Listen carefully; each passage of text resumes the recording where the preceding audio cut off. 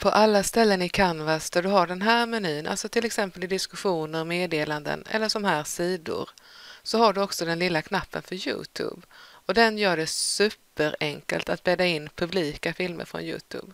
Du klickar på knappen och sen kan du antingen söka på vad filmen heter eller så kan du klistra in adressen till filmen. Och så trycker du Enter.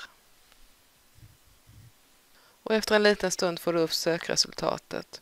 Och här kan du klicka direkt på embed eller kan du välja vilken storlek du vill ha på filmen. Jag vill ha en stor.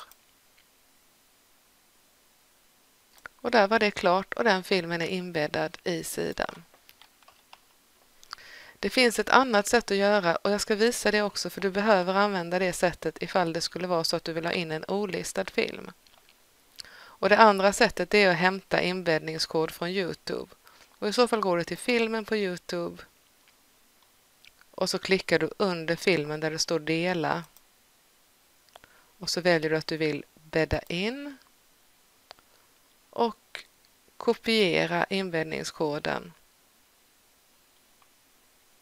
Och sen skuttar du glatt tillbaka till Canvas.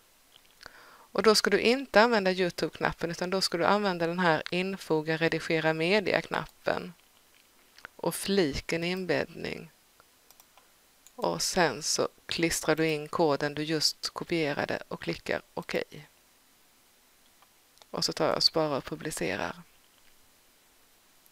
Och som du ser blev det en lite annorlunda filmruta den här gången. Men bägge två funkar så att de kommer att spela upp Youtube-filmen direkt in i din kurs på Canvas.